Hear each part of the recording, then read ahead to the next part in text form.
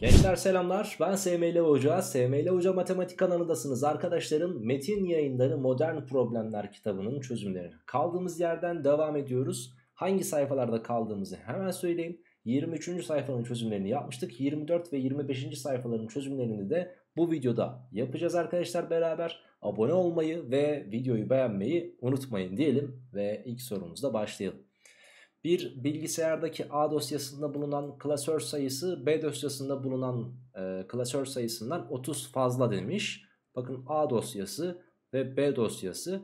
Burada bulunan klasör sayısı B'de bulunan klasör sayısından 30 fazla dediğine göre eğer burada x tane sevgili arkadaşlarım klasör varsa burada x artı 30 tane klasör varmış diyeceğiz. B dosyasından 10 klasör A dosyasına aktarılınca A dosyasındaki klasör sayısı denilmiş. Bakın 10 tane azalır değil mi B dosyasına? E nereye aktarılıyordu? A dosyasına. Dolayısıyla burada da x artı 40 tane olacaktır. A dosyasındaki klasör sayısı B dosyasındaki klasör sayısının 3 katının 10 eksiğine bakın. Buradaki bunun 3 katının 10 eksiğine eşit oluyormuş arkadaşlar. Şu an soruyu bitirdik. X'i bulabiliriz. E, x'i bulduğumuz takdirde de soru bitecek. Çünkü bize B dosyasındaki kaç klasör vardır diye sormuştu. Şimdi x artı 40 diyorum eşittir. 3x eksi 30 eksi 10 dedim. Daha sonrasında bakın şuradaki x'i bu tarafa gönderdim. Burada 2x kaldı. Şuradaki eksi 40'ı bu tarafa gönderirsem de 80 olacaktır. x kaçmış arkadaşlar? 40. Yani gençler B dosyasında başlangıçta toplamda 40 tane klasör varmış. Cevabımız da buymuş deriz. Geçtik ikinci sorumuza. Tarihi Mangala oyunu şekil 1'de belirtildiği gibi 2 tane hazine kutusu ve 12 tane kuyudan oluşmakta. Oyun her bir kuyuya 4'er tane taş konularak başlatılır. Yani toplamda bakın 12 tane kuyu var. 4'er tane konuluyorsa 48 tane taş var. Öğrencilerine ardışık saymayı öğreten Şeyma öğretmen Mangala platformunu şekil 2'deki gibi boşaltmış ve bir numaralı kuyuya belli adette taş koyduktan sonra sırasıyla diğer kuyulara da bir, önceki kuyudaki taş sayısının ardışığı kadar taş koymuştur.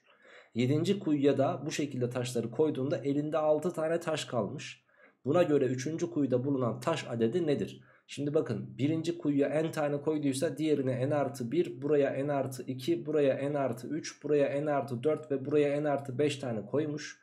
7. kuyuya da n artı 6 tane taşı koyduktan sonra elinde toplam 6 tane de taş kalmış arkadaşlar. Şimdi burada n'den başlayıp n artı 1 n artı 2 diye n artı 6'ya kadar olan sayıların toplamı nedir? 7 tane n olduğu için 7n artı bakın 1'den 6'ya kadar olan sayıların toplamı 21'dir. Bir de 6 burada var toplam 27 yapar. Arkadaşlarım bu toplam taş sayısıdır. Mangal oyunundaki az önce bulmuştuk ne demiştik? 48 demiştik. Dolayısıyla 7n eşittir 21 olacaktır ve n buradan kaç gelir arkadaşlarım? 3 gelir. Yani birinci kutuda n, ikinci kutuda n artı 1, üçüncü kutuda n artı 2 tane vardı. E böylelikle arkadaşlarım ben n'nin 3 olduğunu bulduysam, üçüncü kuyuda bulunan taş adedi de bana sorulduysa ben derim ki n 3 ise madem 3 artı 2'den doğru cevabım kaçtır benim? 5'tir derim. Geçtim 3'e. Bir okulun kütüphanesinde bulunan kitapların 1 bölü 3'ü okuldaki öğrencilerin her birine birer kitap verilerek paylaştırılıyor. Öğrencilerin 2 bölü 5'i aldıkları kitapları belirlenen süre içerisinde okuyup bitirememiş arkadaşlar. Belirlenen sürede aldığı kitabı bitiren öğrenci sayısı 108 olduğuna göre bu kütüphanedeki toplam kitap sayısı nedir? Bakın aldığı sürede kitabı bitiren öğrenci sayısı 108'miş. 2 bölü 5'i bitirememiş. Toplam dağıtılan burada dağıtılan kitap sayısına 5K dersem bu 5K'ne dağıtıldıktan sonra 2K ve 3K diye ayıracağız. 2K tanesi sevgili arkadaşlarım bitirememiş diyeceğiz. 3K tanesi bitirmiş diyeceğiz. Şimdi bitirilenlerin sayısı 108 olduğuna göre 3K'ya ben 108 derim. Ve böylelikle K da buradan 36 gelir.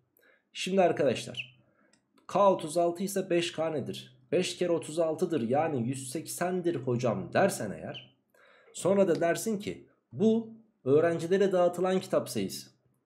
Okulun kütüphanesinde bulunan kitapların 1 bölü 3'ü dağıtılmamış mıydı? Yani 3T kitap varsa T tanesi yani 180 tanesi dağıtılmış. O zaman 3T'si kaçtır? 3 ile çarparsınız 180'i 540'tır. Bu da bize kütüphanedeki toplam kitap sayısını verir. Cevabımız 540 olacaktı arkadaşlar.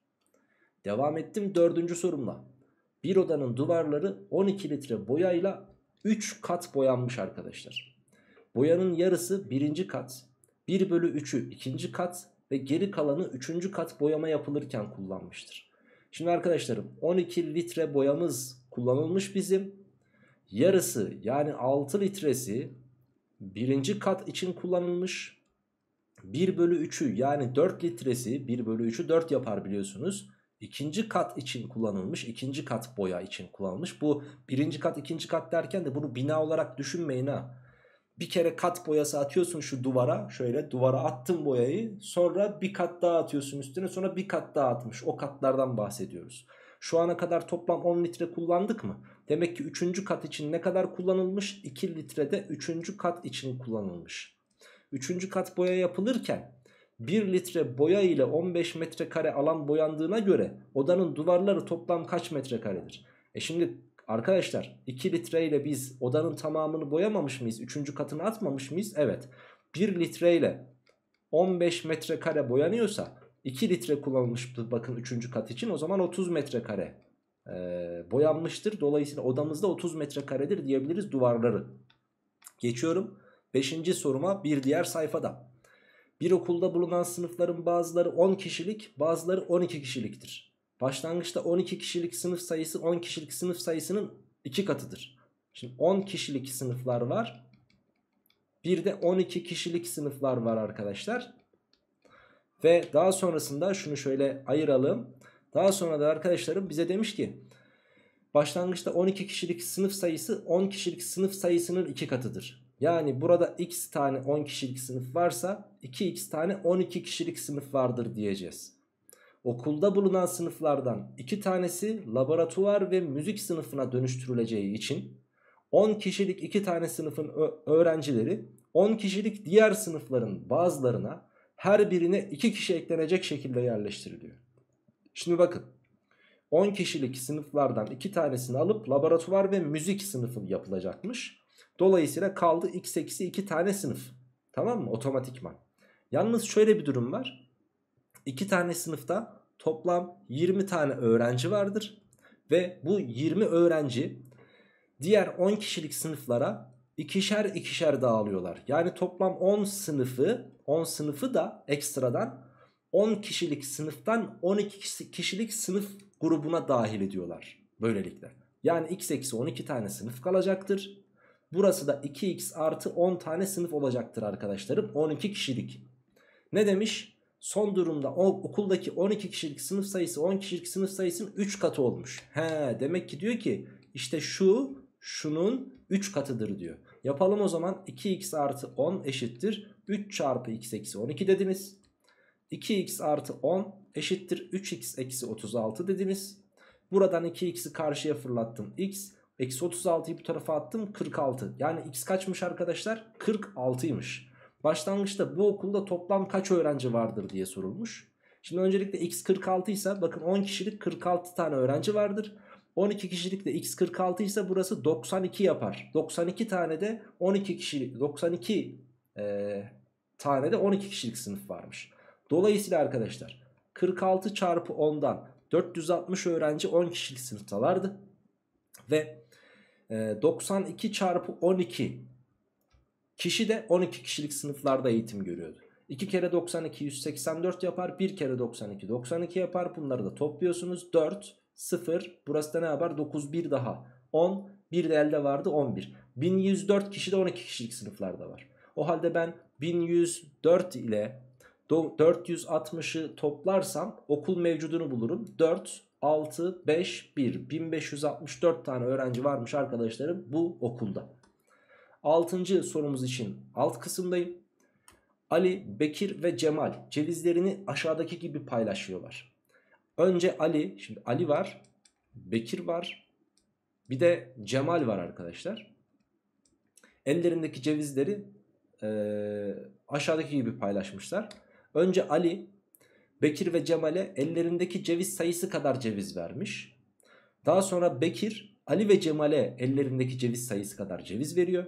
Son olarak da Cemal, Ali ve Bekir'e ellerindeki ceviz sayısı kadar ceviz veriyor. Son durumda üçünün de ceviz sayısı 24 olduğuna göre paylaşım yapılmadan önce Ali'nin kaç tane cevizi vardır diye sorulmuş.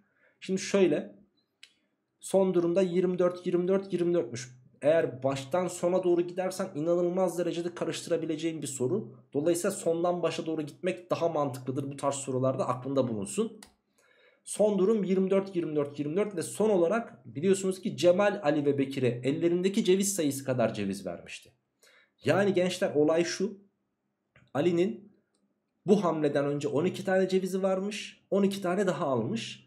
Bekir'in 12 tane cevizi varmış. 12 tane daha alıp 24 olmuş. E, Cemal bunlara 12'şer tane ceviz verdiğine göre Cemal'in 48 tane cevizi varmış. Şu hamleden önce. Şimdi geçelim bir üst hamleye. Bekir Ali ve Cemal'e ellerindeki cevizi kadar ceviz vermiş. Şimdi o zaman e, Cemal'in 24 tane varmış. Daha sonrasında Ali'nin 6 tane varmış. Bekir'in de arkadaşlar Bekir'in de e, ne kadarı varmış onu öğreneceğiz şimdi. 24 buna 6 tane buna verdiyse 30 tane ceviz, ceviz dağıtmış. 12 e, tane ceviz varsa kalmışsa ve e, 30 tane dağıttıysa demek ki 42 tane cevizi varmış aslına bakarsanız. Ve bir üst hamleye geçiyoruz bunu da hallettik. Ali Bekir ve Cemal'e vermişti. Şimdi Bekir demek ki 21 ceviz almış. Önceden elinde 21 varmış 21 tane almış. Cemal'de 24 tane varmış 12 tane almış demek ki. 12 alarak 24 olmuş. 21 12 daha 33 yapar. Ve Ali 33 tane vermiş demek ki. 6'nın üzerine 33 eklerseniz 39 yapar. Ne diyor? Paylaşım yapılmadan önce Ali'nin kaç tane cevizi vardır? 39 tane cevizi vardır deriz arkadaşlar. Cevabımız da bu olur. Şimdi sağ üst tarafta çalışma soruları var. Bu çalışma soruları hani öğrencilerin çalışma soruları değil. Ee, biliyorsunuz ki problemler kitabında siz de artık aşina olmaya başlamışsınızdır. Problemlerin isimleri bu şekilde. Paylaşım paylaştırma problemleri. Çalışma problemleri. Ee, bir alt sayfaya geçerseniz dizilim problemleri yiyecek içecek problemleri tarzında. Burada iki tane soru var. Sırf onlar için ayrı bir video oluşturmayalım. Bu iki soruyu da bu kısımda çözelim. Bu videoda çözelim arkadaşlar. Diye düşündüm. Umarım sen de uygun görmüşsündür. Devam edelim gençler. Şimdi bize demiş ki şöyle yapalım. Sabit hızla 1 dakikada belirli sayıda kelime yazabilen Ali ve Bekir'den Ali hızını 2 katına çıkardığında Ali'nin dakikada yazdığı kelime sayısı Bekir'in dakikada yazdığı kelime sayısının 4 bölü 3 katı oluyor. Şimdi Ali var ve bir de Bekir var arkadaşlar. Ali hızını 2 katına çıkardığında diyor. Yani bu V ile yazarken hop birden 2V'ye dönüştüğünde diyor. Ali hızını iki katına çıkardığında Ali'nin dakikada yazdığı kelime sayısı Bekir'in dakikada yazdığı kelime sayısının 4 bölü 3 katı olmuş. Şimdi o zaman şöyle diyelim mi? Ee, Bekir'in yazma hızı x olsun. X'in 4 bölü 3 katı demek ki 2V yapıyormuş arkadaşlar. X'i bulabiliriz. 3'ü karşıya attım. 4x eşittir 6V x eşittir 4'ü aşağı çektim 6v'nin yanına bölüm olarak attım. Bu da bize 6v bölü 4 yapar. Yani 3v bölü 2 yapar arkadaşlar. Demek ki Bekir'in yazma hızı zaten hali hazırda 3v bölü 2'ymiş. Buna göre ilk durumda yani bu v iken bu da 3v bölü 2 iken Ali'nin dakikada yazdığı kelime sayısı Bekir'in dakikada yazdığı kelime sayısına oranı. Şimdi biliyorsunuz ki yazdıkları kelime sayısıyla yazma hızları doğru orantılı olduğundan ben kelime sayılarını oranlamak yerine Yazma hızlarını oranlasam da aynı cevabı bulurum. Dolayısıyla V'yi 3V bölü 2'ye böl demiş bu vatandaş bana. V'leri götürürüm. Ters çevirip çarptığımda da cevabın 2 bölü 3 olması gerektiğini görebilirim. Doğru cevabımız buydu gençler. Ve ikinci sorumuz ve bu videonun da aynı zamanda son sorusu. Bir ağaç dikme etkinliğine katılan Rana ve Fırat'ın çam ve ardıç ağacı dikme süreleri aşağıdaki tabloda verilmiş arkadaşlar. Örnek veriyorum Rana'nın dikme süresi neyi? Çam ağacını 10 dakika ardıç ağacını 15 dakikada dikiyormuş Rana. Fırat da çam ağacını 15 ardıç ağacını 10 dakikada dikiyormuş.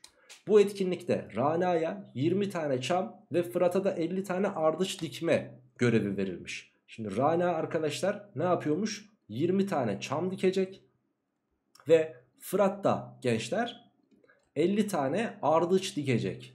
Tamam mı? Şimdi Hemen diyoruz ki bunların dakikalarına bakalım. Rana 20 tane çamı bakın çam dikme süresi 10 dakikaydı 200 dakikada dikebilir. Fırat ise 50 tane ardıçı bakın ardıç 50 kere ondan 500 dakikada dikebilir. Tamam mı?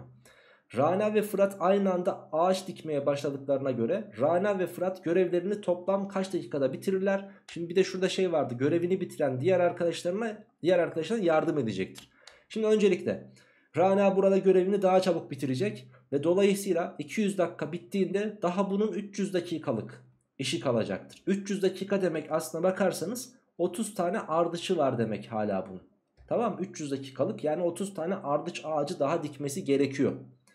Rana ardıç ağaçlarını 15 dakikada bir, Fırat ise 10 dakikada bir dikiyordu. Yani aslında burada şöyle bir şey yapabiliriz.